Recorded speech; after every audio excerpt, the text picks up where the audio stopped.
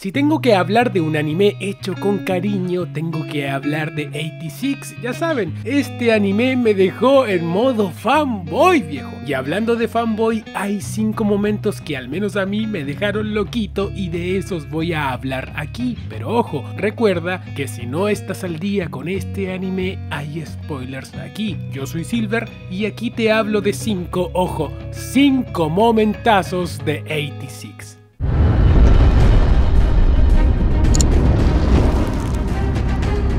Entre una de las tantas batallas del Spearhead, Calle queda atrapada en un pantano y bueno, muere. Lo interesante aquí, además de que aunque apareció poco Calle me caía muy bien, es que da un golpe de realidad tanto a Lena como al espectador. Entre la conmoción, Cioto explota y saca a la luz todo su resentimiento que aunque solo él habla, los demás también pensaban lo mismo. Y es que hay que decir que aunque Lena se tomaba en serio este trabajo y realmente quería pelear con orgullo junto a ellos, la verdad es que en esta lucha no había nada de orgullo. Los 86 ni siquiera querían pelear ahí, eran esclavos y seres desechables para la República, por lo tanto no hay honor que reclamar aquí. Incluso si lograban sobrevivir hoy, seguramente la próxima vez iban a morir. Así que ojo, en este momento hay dos mentiras que se descubren. La primera es que si bien los 86 son las víctimas de este sistema asqueroso, la verdad es que eso no los convierte automáticamente en buenas personas. Es decir,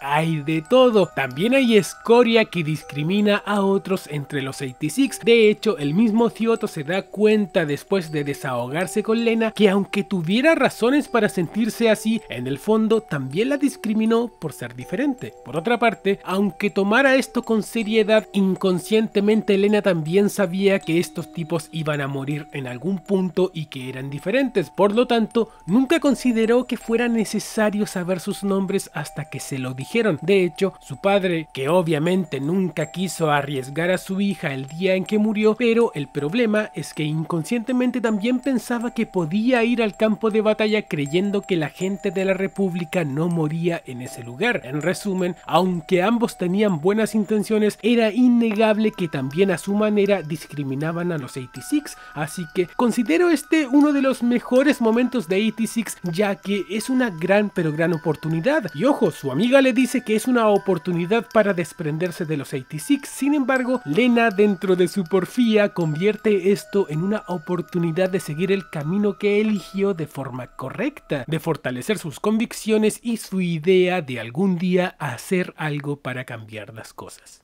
Era el día del Festival de la Revolución de la República de San Magnolia, un país lleno de gente guapa y albina donde los feos no entran y todo ese mambo que le gusta a estos albinos. Ahora, como Alena estas fiestas se la sudan, se puso un vestido negro para no tener que aguantar a ningún pelmazo. Efectivo al 100% viejo. Eso sí, como Lena tiene suerte, la llama el papucho de este anime. Recordemos que esto fue justo después de la muerte de Daya, así que entre esa conversación, Shin le pregunta si ella los recordará después de que hayan muerto y Lena le promete que los recordará y que no morirá nadie más. Bueno, ¿para qué vamos a decir que la mitad de esta promesa se fue junto con el agua de esa ducha llena de fanservice, viejo? Pero la primera parte se mantuvo. Hasta el final de la segunda parte de la temporada, Lena mantuvo su convicción de nunca olvidarlos, de llevarlos siempre en su corazón. Por eso es imposible, para mí al menos, no mencionar este momentazo entre los mejores.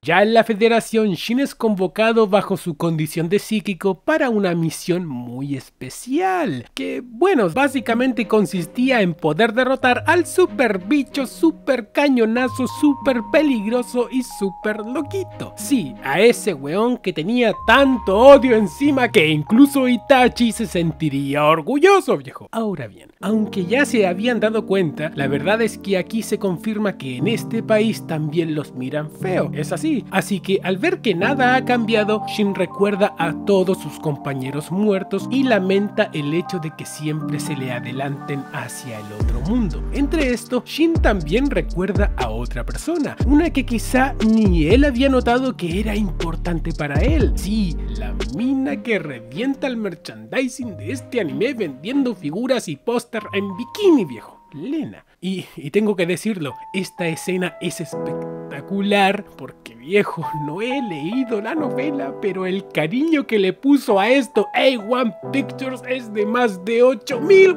¿Qué? ¿8000? Y es que solo ver esta escena te narra la situación en la que están. Hasta aquí Lena era la única persona a la que Shin le había encargado recordarlos. Sin embargo, con un suspiro y una respiración profunda para soportar el dolor, el personaje al fin entiende que lo más probable es que no la volverá a ver. La situación por su parte era una misión suicida donde seguramente iba a morir y por parte de Lena todo indicaba que ella ya estaba muerta. Por lo tanto, ya sea si sobrevive ella o él, era casi seguro que ya no la volvería a ver o, bueno, que no la vería. Recordemos que hasta aquí todavía no la había visto, viejo. Pero bueno, de verdad me parece un momento espectacular y uno de mis favoritos de la segunda parte de la temporada. ¡Ay! ¿Cómo digo esto sin que me funen, weón?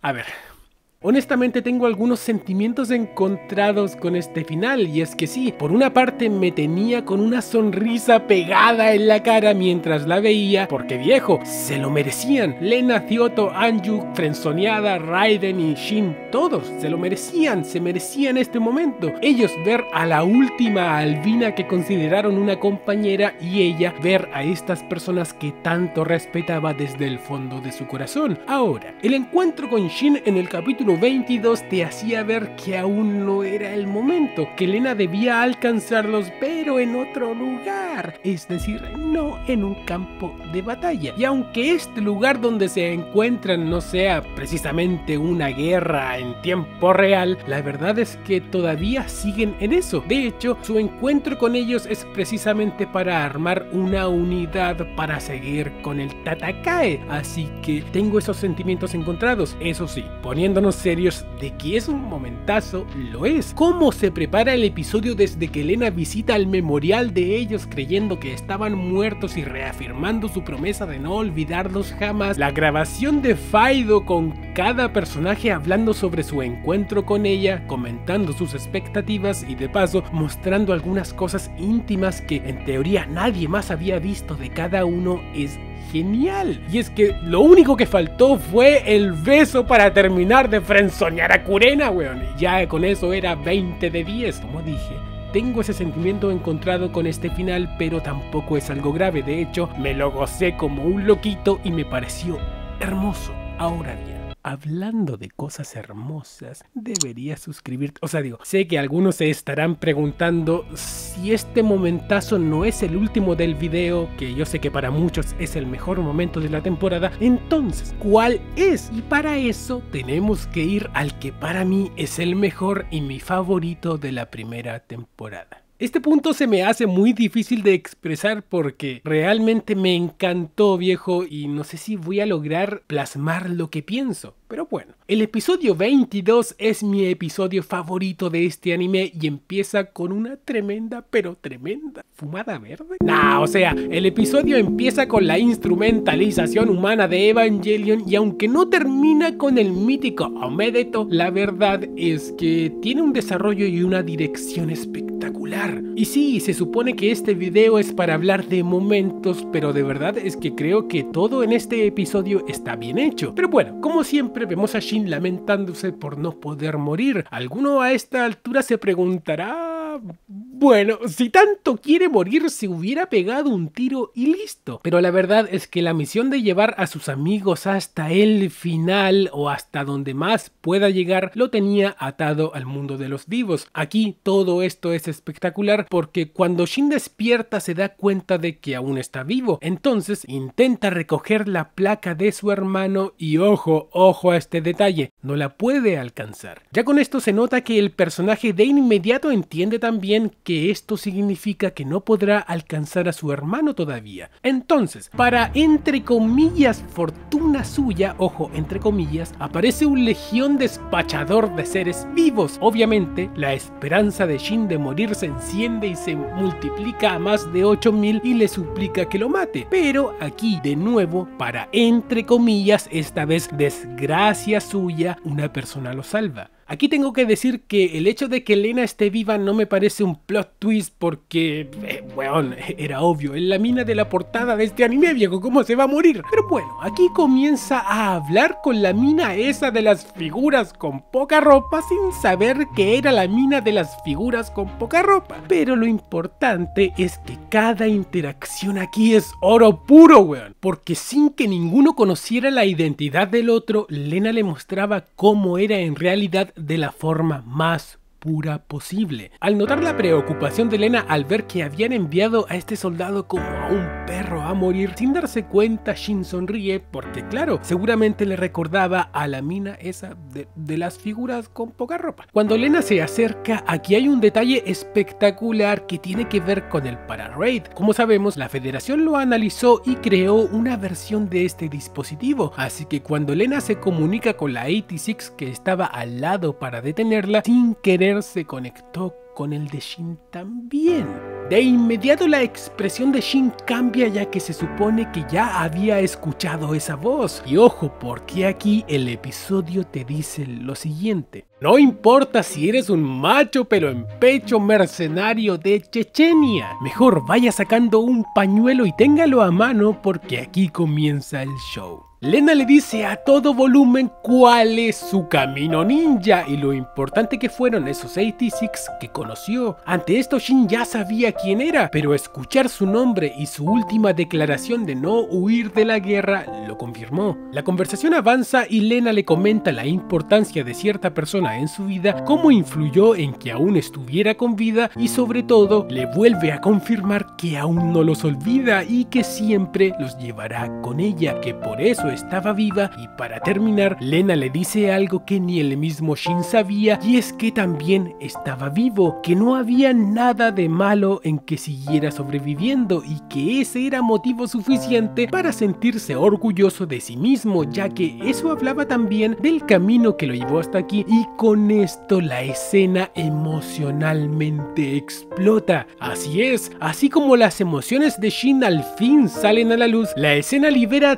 todas las emociones que tenía contenidas y que estaba acumulando desde que terminó la primera parte de la temporada. Brillante. Y es que todo en esta escena está bien. Desde el guion, el soundtrack, la paleta de colores, el dibujo y sí, la gran pero gran interpretación de los seiyus que fue espectacular. Al menos a mí, tengo que decirlo, me lograron transmitir cada emoción de los personajes hasta el suspiro más breve y discreto. Aquí, para mejorar aún más las cosas, Shin se entera de que sus amigos todavía están vivos, dándole a entender que aún tenía más razones para ser feliz por estar vivo. Y sí, de nuevo, para mejorar aún más las cosas, la última conversación con Frederica le vuelve a decir algo que él mismo no había notado, que ya no es un fantasma que no tiene ningún futuro que alcanzar, sino todo lo contrario. Ahora hay un camino trazado para él también y que esa puede ser su razón para pelear desde ahora en adelante. Nah, viejo, se pasaron, espectacular. Lo dije en mi video anterior de 86, pero viejo, cómo se nota aquí que se metió la autora de la novela y el cariño y la dedicación que puso el estudio de animación, de verdad. Se nota y se respira ese cariño y es un agrado poder ver este anime con este tipo de escenas tan bien trabajadas. Pero hoy parece que me dejé llevar un poco con el último punto, pero viejo, me dejó loquito. También hay otros momentazos como el final de la primera parte con este este click bait de Shin muerto, también la escena final con su hermano y su despedida con Lena. Así que, ¿qué quieren que les diga? Este anime está tan bien hecho que seguro se me olvidaron otros grandes momentazos. Pero bueno, si te gustó este video o tienes algo que decir, recuerda que puedes dejarme un like, escribir un comentario o suscribirte. Cualquier cosa siempre será bienvenida. Así que nada, te espero en un próximo video.